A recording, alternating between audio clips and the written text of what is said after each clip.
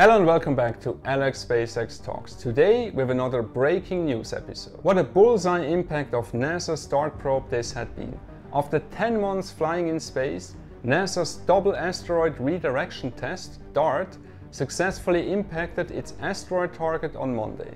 This is NASA's first attempt to move an asteroid in space. As a part of NASA's overall planetary defense strategy, DART's impact with the asteroid Dimorphos demonstrates a viable mitigation technique for protecting the planet from an Earthbound asteroid or comet if one were discovered. DART targeted the asteroid moonlet Dimorphos, a small body just 160 meters in diameter.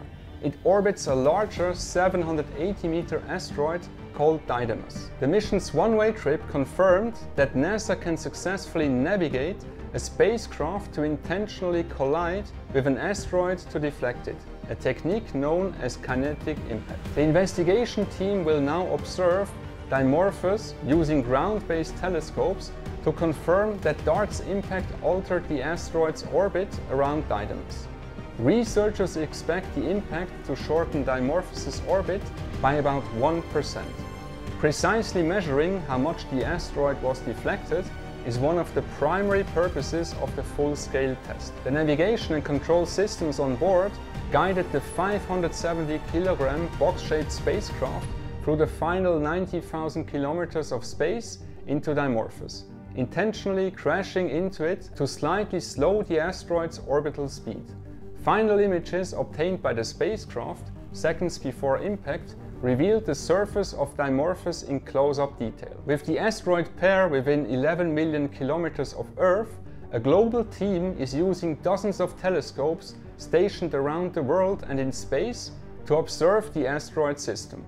Over the coming weeks, they will analyze and precisely measure Dimorphos' orbital change to determine how effectively DART deflected the asteroid.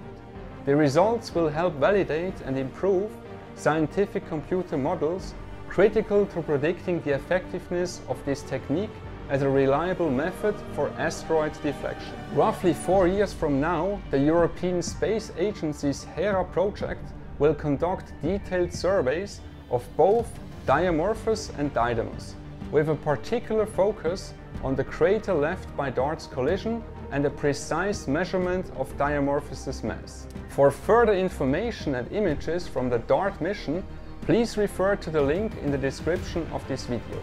In the meantime, I wish you all a wonderful week and see you soon in my next video. Ciao!